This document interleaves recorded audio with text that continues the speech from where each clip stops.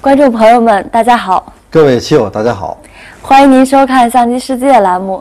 啊，今天呢，我们将为您讲解的是今年的全国团体锦标赛，对阵双方呢是由孟辰大师与那个许国义特级大师一场对局。嗯，这盘棋呢，应该说是颇具戏剧性。对，这盘棋呢，也是最后这一轮的这个争夺啊。这个孟辰呢，这一次首次呢是加盟了这个四川成都队，应该说呢，也是一心呢想为自己的主队呢这个立功。应该说他前半局呢下的是非常不错的。对，四川队一直是这个团体锦标赛的一个夺冠的热门队伍。对，嗯，但是他这一次呢，这个整体来看呢，最后几轮呢发挥也不不是很理想。对，大家就是棋棋圈里的人都为他感到可惜啊，就很多棋迷都非常支持这个四川队。呃，应该说这个今年的这个华阳体育杯呢，全国团体赛争夺的还是非常激烈的。嗯，当然说结果呢，已已经早已出来了。嗯，大家也知道了，最终是这个江苏队呢，并不为大家特别看好的，取得了这个历史上的第二座这个男团的这个金杯，啊，呃，应该说可喜可贺。那我们还是来看一下这盘棋的这个两个人的精彩的对攻战。红方孟辰啊，两位棋手呢，实际都是。绿林好汉的出身啊，对。他们两个呢，就是都没有早期呢进入专业队。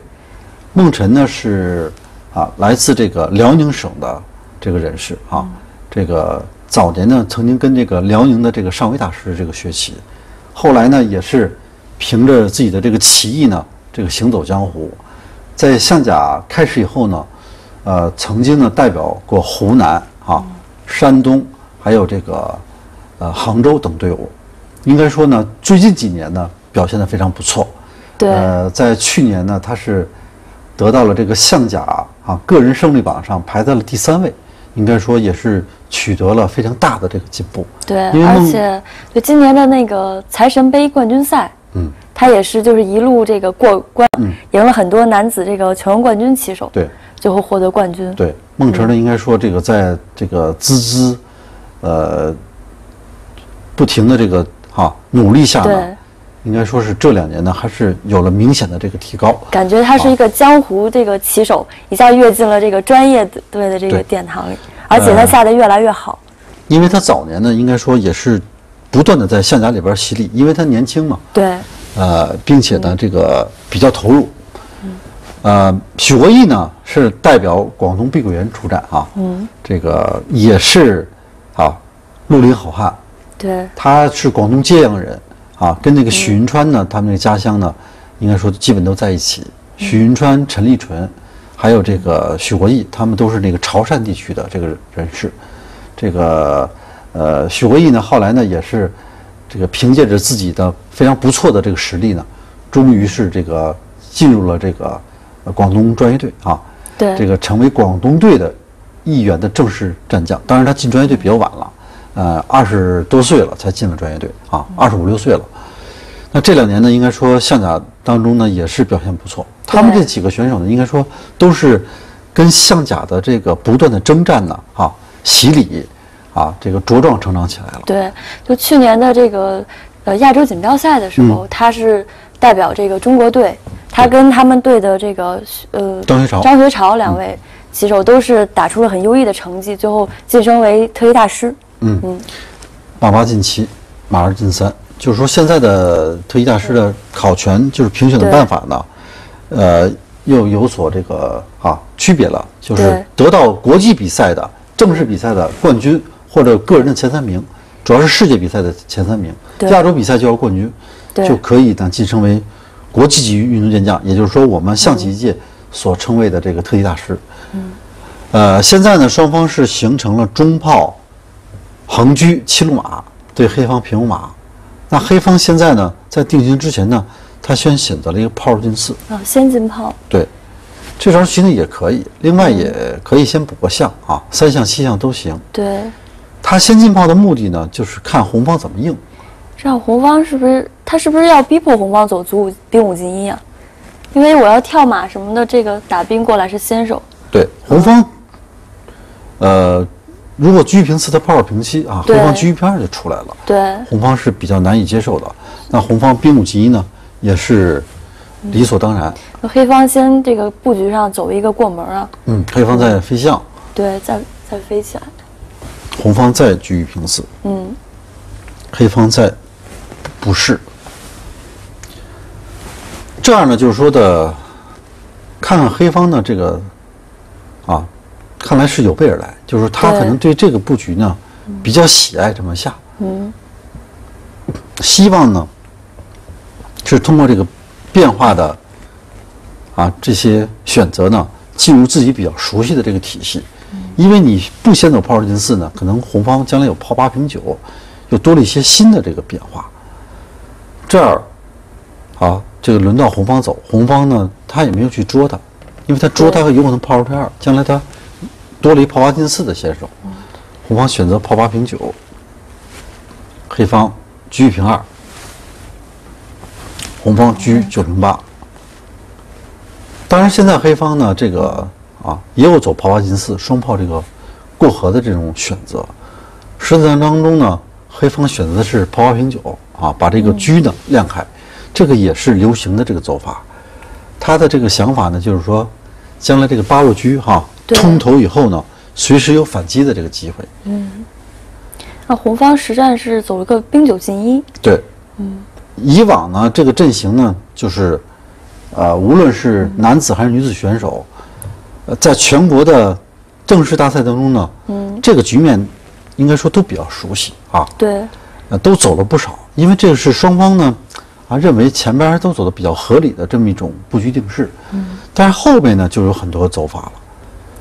那这时候红方还有一个居车四进三，那么黑方呢，啊，有的棋手选了这么一种走法，嗯，车八进四，居八进四是为了下步棋。嗯下步棋他就卒三进一，啊冲兵，这样吃过来然后他再送七兵，兵八路车再杀过去。啊，这个构思也挺巧妙的一个走一个方法。这个呢，嗯也都有很多棋手都走出来了。对。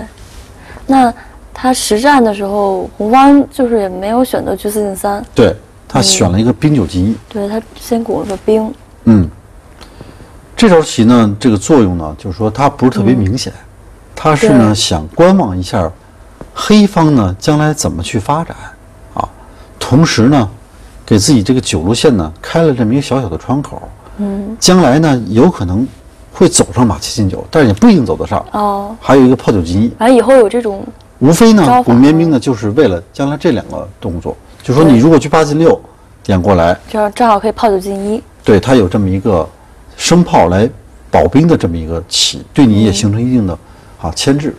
对，那实战当中呢，黑方就选了一个马七进八，就是说你走你的边线，我也从我的边线啊进行争取进行一些突破。对，直接跳马，如果你拉我的话，我再回来，你对调我就对调，我已经接受。当那红红方这个车位，这个车被封住了，他也不愿意对，对，嗯那红方暂时也没有去拉他哈，嗯，红方走了一个车四进三嗯嗯这个棋呢，就是说双方啊可选的变化比较多，对，那长它不太同于这种过河车直线这种进攻啊，但是呢，这个棋又跟过河车呢很像，对过河车居住在这个位置对，，可能是红方那这个车一平二，车二进六这个线路，现在是车进一，车平四，车四进三，它等于是这么走了三步啊。对，呃，那说呢，应该说呢，这个红方呢，等于是采取了一种缓攻的这种策略，然后再呢寻找一些战机。那么黑方这个时候呢，实际上也可以考虑呢，就既然你走巡逻车了，我他就为了就对兵，嗯我，就把你蹬掉算了，那这个抓这个捉我可以再炮二进二。再点进来，对，因为我这个马呢，暂时虽然是没有根儿，但是你吃到以后呢，我有一个反打。对，那车还得躲开，对你车躲开我再打马，我还是先手。这个棋呢，黑方还是可战的啊。黑方毕竟啊多了这一个七卒，在物质上他有所获得。另外呢，这个平炮打马转化以后，他也是先手。这个棋应该说黑方呢，我觉得马八进七呢也是比较可行的啊，就是一种比较可行的这个策略。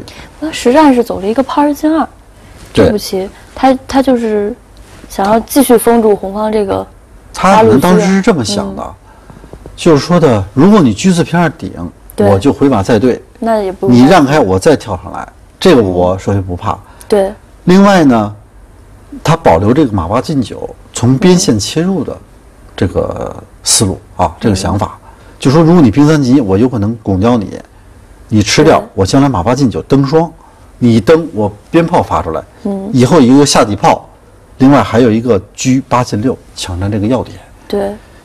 这儿呢就势必呢会形成另外这一番天地哈。嗯。但实战当中呢，红方呢，呃，看到这个变化呢，他呢也是不动声色，他是先走十六进五，对，先补了一手，先把自己的阵型呢圆好再说。然后黑方也就炮九平七。哎，我觉得这个选择黑黑方这个棋还挺满意的感觉。这个红方其实黑方呢，嗯。就是如果直接一点的话呢，也是可以先把这个直接吃兵兵。蹬掉，嗯，然后你马上不去了，对，你上的时候我随时可以把中炮换掉，对蹬掉你。嗯，就中路威胁就没有了。这个棋呢选择比较多，他还可以马八进九，但是马八进九他怕他马三进五，啊，就这种棋呢，不不进行交换，对你也不能轻易走，对轻易走呢，你这个位置啊容易走别扭了。对，这个马太偏了，这个位置。对，这个马将来一旦呢走不出棋来呢，就是说的容易脱离这个主战场，这将来红方这个中路也很厉害。冲兵跳上马，马跳上的挺厉害的。所以说黑方可以考虑马八进七啊，他这个几次走这个马八进，他都没有走，他走了一个炮九平七，啊，在这瞄着，他可能想将来再登，对，然后红方就这时候也就跳马，对，马七进六了。这招棋呢，这个接下来呢又没有这个完全理解，黑方又走了一个。炮退一，对黑方这个炮啊，这个连续这个动作呀，这个显得有点重复。我觉得黑方有点见招拆招啊，嗯因为你跳马肯定要登中兵嘛，我炮退一以后，你这这个不能交换，是为了不让你登中兵。对，而且我现在也是牵制你，这个以后随时我还可以炮把兵打，对跟换子嘛，这个棋呢，黑方就不如呢，这个还是马八进七更实惠直接。把兵登进来啊。对，更实惠一点，然后再盯着你这个中炮呗。对啊，登过登进来，确实呢，黑方呢这个地方呢走的呢可能计划不是很对啊这个周全，他这嗯个炮呢显得还是有些重复。他就是想要这个，对，他也你说的这有道理他可能是，嗯，不让你红方马六进五，但实际上呢，毕竟黑方这个步伐呢，还是太重复了。对嗯，重复多了以后呢，红方就是突然发动这个攻势了。对，红方红方接下来这个走的招法还挺狠的，嗯，红方走，嗯，兵五级冲。对，这个黑方也也肯定要这个接对受，当然说黑方还有一个马八进七的变化。啊，强行这个登进来，对，嗯，登进来不是有一得子吗？啊，哦，对，那么红方红方呢，那也有可能就继续兵五进一冲啊。对，红方这个应该说，这个中兵渡过去呢，还是有一些这个棋的嗯啊。呃，接下来现在红方车四进四，红方就卡，嗯，就等于在黑方右炮呢频繁这个啊运炮的这个关键的时候呢，红方呢就是决定了这个全线这个进攻了啊，因为这盘棋呢是这个本次比赛的最后一轮啊，因此双方呢为了争取好名次呢，也都是放开去拼杀啊，呃，双方这个棋呢走到这儿呢，应该说这个红方呢。应该说是形势呢逐步呢比较有利了，黑方这个形势整体呢吃紧了。对，红方这呃这个中路攻势，这个黑方该怎么化解？对，嗯，黑方呢，我觉得比较现实的地方呢，嗯，这个地方就应该走象五退三的逼让一招。好，先忍让一手，对呀、你打我的象，我如果象丢了以后还是危险的。嗯但是实战当中呢，黑方走的也是比较凶啊。对，黑方是连象也不要了，直接就是充足呢，与对方这个对攻了。对，然后这个棋呢，就是变得一下呢，这个扑朔迷离。对，直接这个前途呢，就是一眼呢很难分辨出到底是谁好，啊，谁优谁劣。对，那好，那大大家呢，如果要想进一步了解这个棋双方后边的战斗呢，我们稍后呢会为大家呢继续呢做讲解。好，各位棋友，欢迎您回来。我们继续呢，为大家讲解孟晨儿啊与这个许国义两位选手的这个精彩对局。走到这儿呢，就是黑方呢，就是决定气象，直接呢这个中卒挺进。应该说呢，双方呢就是展开了这个激烈的这个对攻啊。那么红方呢，这个刻不容缓哈，对，红方也就他就是先把这个象打掉了，打一将，黑方将五平四。这招棋呢，随后呢，红方走了一招狠招，他走了一个炮九退一，因为黑方总有这个炮二平五的这个威胁。对，那红方呢，嗯，就想看一下你的这个招法。是如果你走炮二进一了，那么我就可以正常的把马呢这个跳走了。对，这啊中路威胁没有了。对，嗯，那黑方如果现在炮二平五，显然是不行，因为红方飞掉以后，象三进五一飞，啊，对，炮九平六一将，他可以马六退七把你这个对，车呢，再给吃回来。对，抽回来。嗯就是黑方现在炮二平五绝对是不行的。对，那么黑方呢？黑方好像也没什么很好的办法，这个将军也不好拦，对，我们给大家简单摆一下吧，嗯因为我们很多观众朋友呢，可能光听我们这么一说，还没有完全理解。对，这红方个时候有将，九平六一将，这只能不是。对，红方马六退七再一将，对，正好把子儿吃回来。这儿等于不仅吃回来，而且是红方要多子。嗯，因为红方呢先吃了一个炮啊，所以这个地方呢，黑方是不能走炮二平五的。对，那么黑方如果走炮二进一呢，虽然是避免了这个炮九平六，但是他没有这个拱马的先手了。对，这个马逃开了，对这炮二平五这个危险没有。对我觉得黑方这个冲中卒就是看到有个炮二平五的一个威对，胁他，有这个两个先手啊，对，所以他还才有兵。七进一啊，马七进九有这些后续。对，红方呢可以说多一个象呢稳占优势。嗯，这个棋呢，黑方可能也不愿意接受啊。那黑方怎么下呢？黑方就强硬的把这个马吃掉了。对，不管了。对，实际上这个吃的这个马呢，确实还是很凶险的。好对，你看红方实战吧，他这个将了一军。将，嗯，那他对方就卒四平五了。对，赶紧先平开。他如果不走卒四平五呢？如果是五进四呢？这个明显是不好啊，对，这个因为这个底士一杀两将，他吃马又吃这个炮，红方可以带将呢，把这些子力就吃回来了，这是最简单的这个走法，对并且你感觉先丢一个士呢，是，也是非常的危险啊。对他平兵也是控制这个马三进五的这个线。所以黑方知士是不行的，他只能够平卒。那红方呢，继续啊走的也也很精巧，这个用士来将军啊，士五进六一将。嗯，你现在更不敢对知士了，你支士我车砍两将，再点回来，我可以打掉马，比你车的根儿削掉对，啊。呃，总之呢，黑方肯定是不能支士，嗯所以黑方呢，还是要垫卒。对无奈的情况下呢，他只能在卒五平四再回来，嗯暂且呢挡住这个红炮的这个将军。嗯，那么接下来红方三路马呢，就是投入战斗了，马三进五一跳，准备马五进六。这个棋呢，应该说就是红方的形势呢，一下呢这个主动出来了，对，因为他下步棋还有将来还有炮六进打，或者说马五进六以后再打这个，就可以将军了。对、这个棋呢，应该说就是比较的理想、啊。主要这步炮九退一这步棋太好了。对，嗯，黑方如果走车二进六的话，他实战走车八进三啊如果车二进六的话，嗯，可能比实战要稍好一点。那红方肯定也要跳马。红方啊。嗯，也会跳马，对，那现在打着兵呢，那黑方只能马三进五了，这个也没得选，嗯，因为保住这个卒，那么红方可以车四退二，来捉这个中马。好像这个马不太好逃了。对。这个。这个棋呢，就是黑方这个马呢逃不了，他还不敢飞这个炮，他一飞这个炮，红方就把它蹬掉。哦，先不着急吃马，对这还是逃不了。对这车将你居将呢，我正好反将，哦反将这个太厉害了。我将来这个八路车呢吃炮。对，这八路车一出来就不太好下如。果你居将，嗯，我回士正好有个将，反将你进将，假设进将啊，进将。因为你不进将，我就把你将上来，这个我得为吃，对，这或者我左右卧也可以。嗯，这个棋黑方肯定不行啊，这个底线这个漏就是。黑方呢肯定不能吃这个炮，不吃这个炮，这个黑方走什么呢是不是？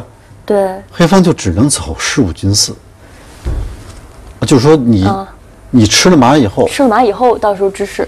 对，嗯那现在主要这个兵吃了马以后，这兵也很很不好逃啊。那黑方也没。办法，这个棋就是说，对所以说这个棋呢，严格意义上来讲，也是红方的这个优势很大。嗯对啊，，主要就是他这步炮九退一，这个走的太好了。就这个棋呢，黑方呢运用这个炮炮的这个落后呢，主要是这个中间这个运炮啊运的太频繁了，对，给红方呢这个充足的进攻时间。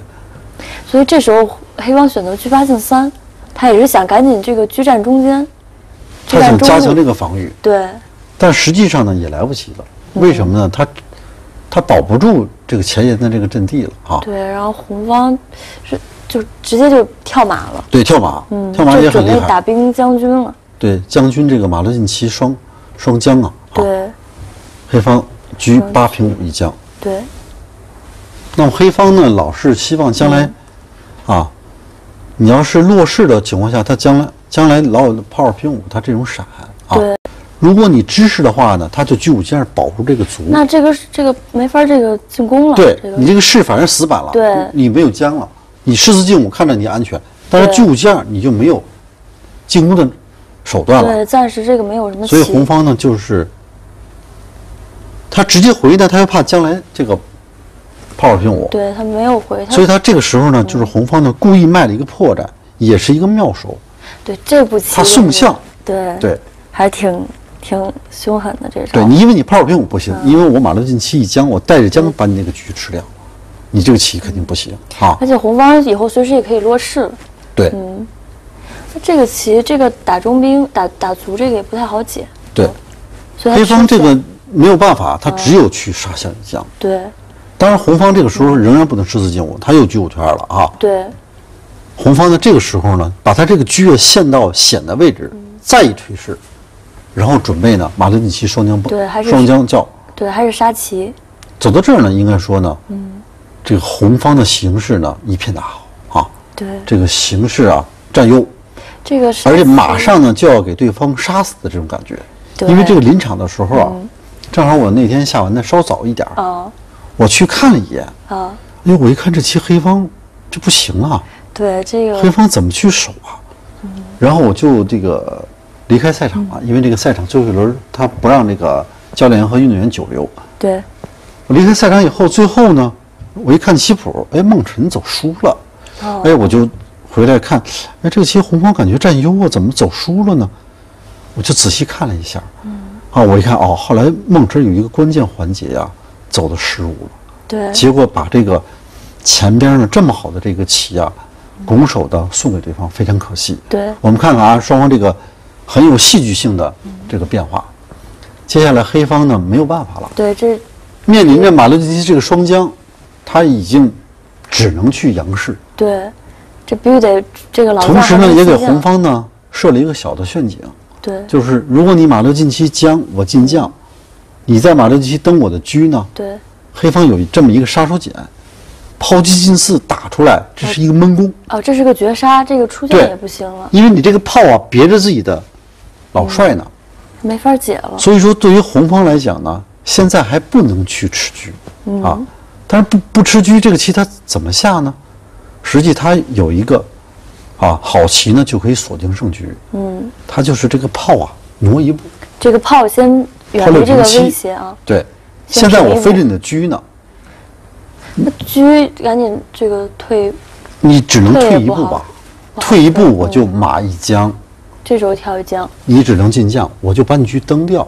嗯，这个棋红方就占优了。啊，这时候再打兵呢，你再打兵，我可以出将。出来了，对，你将军，我上将。上将。你如果就居五平三的话我可以居八进一保啊，。这个这个可以看上，对，这个棋呢，应该说你就没得办法了。对红方这个多的子太多了对，红方一这个以后退马啊，将盘面上呢嗯，红方是净多了一个车，对，你这个棋还杀不死他，你顶多把吃回一个子。吃子太慢了，就没有什么棋。而且红方将来这个马八退九啊，啊，它还有一些潜在的攻势。对这个棋大家一看呢，就是对攻当中黑方没有明显的手段，而红方呢这个多车呢，应该说是可以说锁定胜局啊，就是基本这么一个情况。所以他应该可以可以考虑先平步炮。平炮六平七一步棋就赢了这个棋啊，后边的只要不走错就赢了。嗯，但实战当中呢，红方也想到了平炮，嗯，但是他这个炮啊平的位置不对，导致这个局啊顿生波澜，他走了一个炮六平九，哦，他平的比较远啊，对，然后黑方居五退一，也只能退一步。对，然后红方也是进马登将，这好像也没什么区别呀、感觉这个实际上差别呢啊很大。是是吗？对，那这个黑方呢，这走到这儿呢，他就嗯。不再走炮七进四了，他走炮二平九啊，哦，直接这一个平炮，对，嗯。平到这个边线来叫杀。这个棋呢，红方呢，由于这个时间紧张嘛，因为这个前面他耗费了很多时间，对。结果这棋孟辰呢就出现了一个严重的这个失误，对。导致这个棋呢发生这个逆转。对，他直接是出了个将，对嗯，这个棋出将呢，他就输了这个棋，他只能去飞象，飞象呢正好把象也吃了，把这个车啊诱诱敌以后呢，暂时呢，这个棋呢就说红方还不输，啊，这个然后红方炮打出去，然后他再炮平一线炮，嗯，打回只能先炮，他车五平二再再再捉马，然后红方再把他那个马弃掉，因为他这个点将也要吃吃炮。这将太那什么，哦，这再吃掉，对这个棋呢我们就给大家放到这儿。嗯整体来看呢，双方均势，或者说红方略好一点。嗯红方比如炮五退打将领车四平三抠，对。啊，红方略好一点。对，这个棋但是黑方也能下。就黑方过有个过河卒嘛，还是也挺复这个棋呢，就是说走到这儿，红方只能先飞一个象，是为了把他这个车呢诱敌。嗯，而实战当中呢，红方就出帅了这个棋啊，对，这就有然后人家一将，红方一上帅，黑方一车五平三。九平三是个杀棋啊，对，嗯，刚才呢，这个九路炮如果在七路上，它有车八进一，正好车八进一就没有问题了。嗯，现在它也只能车八进一，它也没有办法，因为现在将这个下对。兵将登兵这个。是不是？嗯，就这个呢，最大的的区别是什么呢？刚才炮是在这个位置，啊，对，嗯，是，这是一个区别。另外，它这个对。车呢，刚刚才如果走低了以后啊，嗯，就是它这么一将的时候啊，红方有这个退车的手段。对，刚才车如果吃到这个位置，对。它只能在这个位置了，这个位置就没有车三平四，对这个位置呢，它就会将死你了。对，这位置这个没办法，对，所以说当黑方呢实战当中走炮九退一一将，啊，他先上来，他车五平三一叫这个时候就不行了。叫杀，他车八进一，黑方呢这个动作很快，，这时候一下就红方从一个胜势变成了一个这个反败为胜了，黑方。对，嗯，黑方这个炮就发出来了，对，这是杀棋，因为黑方退不了这个车，对，没办法挡不，住这个二路家具炮，赶紧进将吧。金将呢对方又炮一将，啊，这个下不了，下不了，下不去，只能上将。黑方这个马也刚才是支这边，啊，对，刚才还得支这边。对对，支这边还嗯，他黑方又马七退五又一将，对，再进来。红方只能再进来，黑方卒四进一，这样就形成一啊，个绝杀这是个。杀棋，黑方怎么杀呢？他就卒四平五一将，然后再卒五平六一将，对。然后他弃车一将，哦，这然后他马五进，三就跳死你。这是个杀棋，这是一个杀，太精妙，明显的就卒四进一，接卒四进一，所以有多种杀，至少有两到这三种。来不及吃这个炮。对，嗯，所以说这个棋呢走到这儿呢，红方就只能认负了。对。那么最终呢，这盘棋呢是以许国义的胜利呢而告终。应该说这盘棋一波三折，对孟辰呢是在优势胜势的情况下呢痛失好局，嗯也非常的可惜。是，那好，今天的这个节目呢就是这样了，也感谢我们各位棋友的这个收看，呃，也欢迎大家呢将来呢多关注我们象棋的比赛。好，朋友们再见。好，再见。